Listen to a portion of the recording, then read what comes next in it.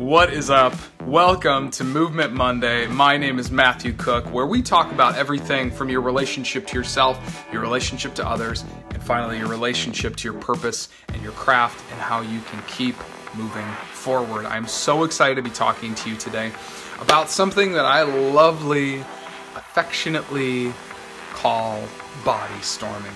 So I spend a lot of my time, believe it or not, on the yoga mat. So where many of us spend our day at the office, you know, at a laptop, maybe in a coffee shop if you're if you're an entrepreneur, a solopreneur, perhaps if you're not working with a team in an office, you might be uh, at a coffee shop. And what's so fascinating is that when I do workshops uh, across the country and uh, and even actually the world, it's kind of fun to say that I've done it. I've done some workshops in Canada, so it's fun to say internationally. But when you, uh, when I do workshops, I always ask people to raise their hands and I say, where do you get your best ideas? And I have never once gotten an answer that was, I get my best ideas when I'm at my desk or when I'm in front of my laptop. It's always, always, always. It's always when I'm on the beach.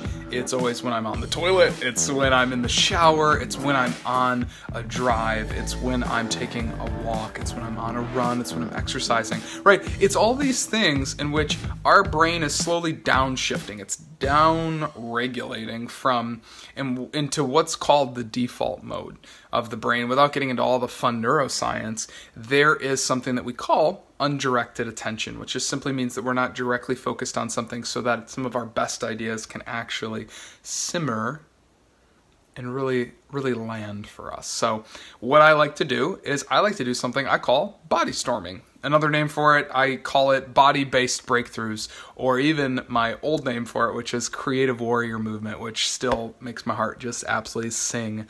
But body based breakthroughs or body storming. So, instead of brainstorming your next big idea, instead of sitting down and scrunching your brow and really working hard to try to figure out what the answer is to that thing, try body storming. So, I'm to give you a really simple practice. I want you to just take a couple moments today and just use the six movements of the spine. So there's flexion, which is forward folding. There's extension, which is lifting up through the chest and really broadening, and uh, and again extending through the front of the spinal column. There is twisting from side to side, so that's four.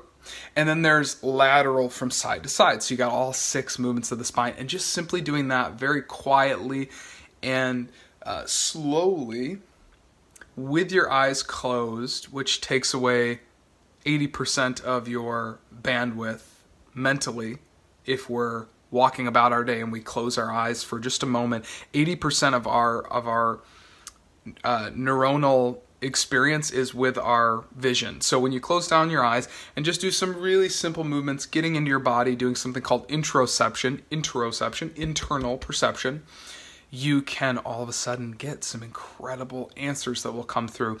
And that is what we call body storming or body based breakthroughs. So, with that, guys, happy Monday, Movement Monday. Here it is to you. Uh, have an incredible day and keep moving forward. Talk to you soon.